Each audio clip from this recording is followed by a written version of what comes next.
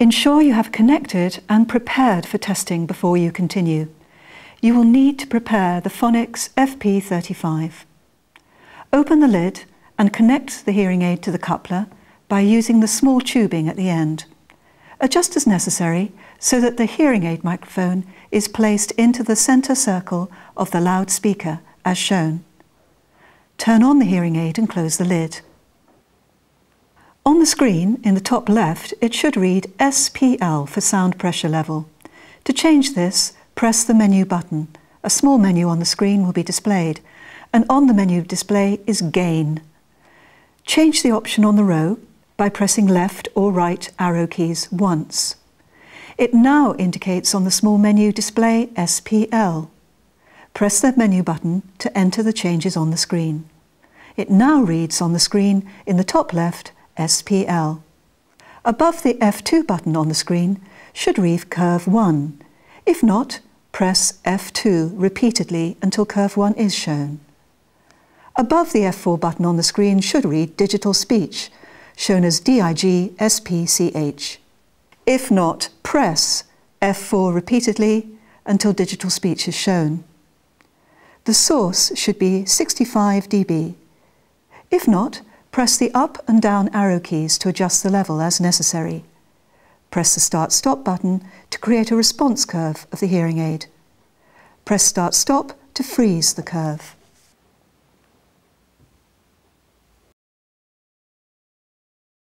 This is the Connevans FM Genie system.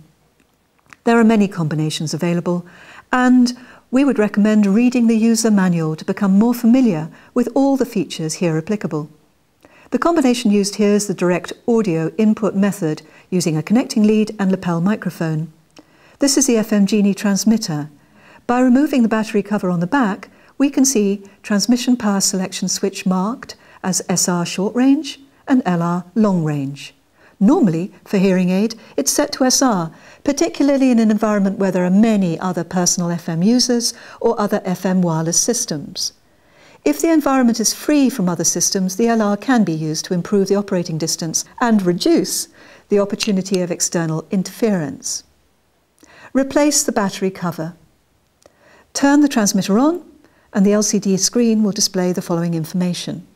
The number shown on the screen, which is the frequency channel. On the right is the battery condition shown in four bars. On the left is the antenna signal, which is not showing any level bars, and a red LED is flashing together, indicating that there is no antenna connection. Connect the lapel microphone. The antenna signal on the screen displays four bars, and the red LED will stop, indicating a good connection.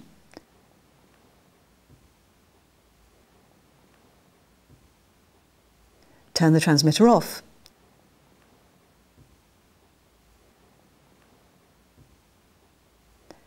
This is the FM Genie transmitter. By removing the battery cover on the back, you can see a number of settings. An activation control is available for the independent adjustment of the treble and bass controls, which is normally not required and left in the cancel position. The active position enables the treble and bass controls to affect the output frequency response curve. This is the low and high selection switch. By using the manufacturer's adjusting tool, you can change the level of audio output depending on what you're connecting. In this case, for a hearing aid, using a standard direct audio input lead, it should be set to low, LO. This position displays a Europlug signal on the LCD screen. Viewed from the back, you can see a label marked ENVVOL, Environmental Volume. Turning the Genie to the side, you can see the environmental volume control. When not in use, turn the volume to zero. On the opposite side is the gain control for the audio output, which should be adjusted down initially.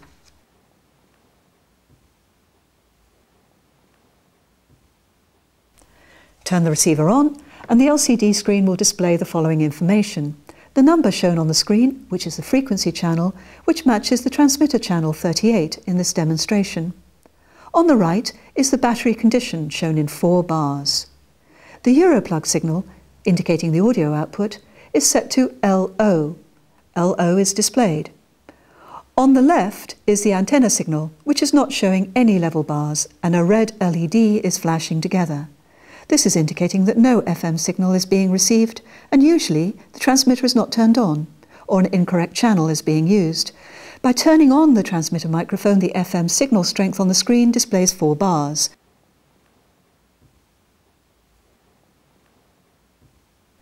Using a direct audio input lead, connect into the Genie receiver.